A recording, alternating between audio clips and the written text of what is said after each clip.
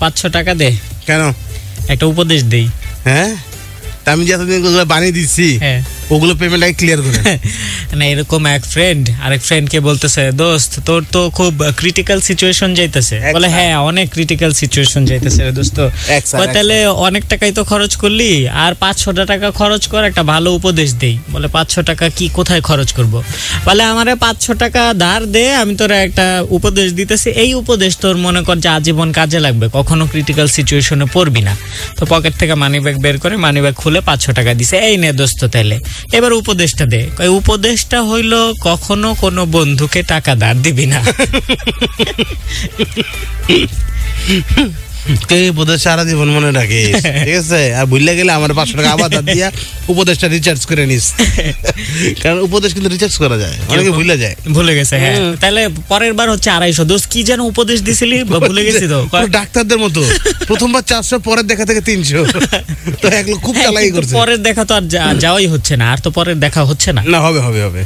তো অনেক আহ, আমি বুঝতে পারছি।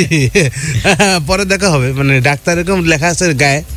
যে প্রথমবার এক হাজার হ্যাঁ। তারপর থেকে সাতশো। হুম। তাহলে এক লোক বলে শালা ভালো কিন্তু যে ইয়েস হ্যাঁ। ছোটখাটো। হ্যাঁ ছোটখাটো একদম হাতে হ্যাঁ। গ্রিপ আসবে বলতেছে আরে সাতশো টাকা এক হাজার টাকা দিমকা গে চালাই কর কমিটি ডাক্তার সাহেব আমি তো আপনার কাছে আগেও আসছি। হ্যাঁ। তো গেছে ঢুকছে। ঢুকে বলছে কি সমস্যা? বলো ওই তো সমস্যা তো আগেরটাই। আগের বার আসছিলাম মনে নাই। আপনি আমার কাছে আগেও আসছেন? বলো হ্যাঁ আগে আসছি না। ওই যে গা গা হাত পা ব্যথা মাথা ঝিমঝিম করে শরীরটা কেমন কেমন যেন দুর্বল লাগে। যে ওষুধ দিয়েছেন না ওগুলো খায়া কাজ হইতেছে। বুঝছেন না? নতুন করে ওষুধ লিখে দেন। তো ডাক্তার চালাকি বুঝছে। এই রোগী তো আমার কাছে আগে কোনোদিন আসে নাই। এই তো চালাকি। এক হাজার টাকা না দেয় সাতশো টাকা দেওয়া পায় তারা। হ্যাঁ। তো ডাক্তার বলছে ঠিক আছে। ওই যে আপনার পাঁচটা ওষুধ খাইতে দিছিলাম না তার মধ্যে লাস্টের দুইটা খায়েন না বাকি তিনটা খাওয়া খান। দেন সাতশো টাকা দেন।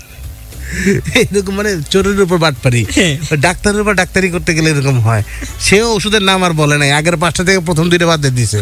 এবার তুমি খাও প্রেসক্রিপশন খুঁজে পাই গো মানে ডাক্তার কিন্তু প্রচণ্ড চালাক প্রচণ্ড চালাক না হলে না আসলে হলে কিন্তু ডাক্তার হওয়া হ্যাঁ, যায় না। না আর এই এত ধরনের রোগীও হ্যান্ডেল করা যায় প্রচুর প্রচুর। কারণ পেটের কথা মনের কথা সব বের করে নিতে পারে।